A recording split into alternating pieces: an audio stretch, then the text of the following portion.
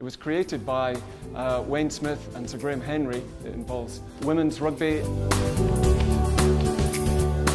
Custon versus Kings, let's go. It involves sevens. Nice Graham, nice Graham, nice Graham. Take him, take him, take him, take him, take him. When you're working back off the ball, I need you to be scanning what the D's doing.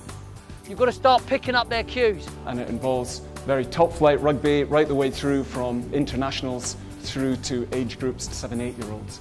So everyone can get something from the Rugby Site.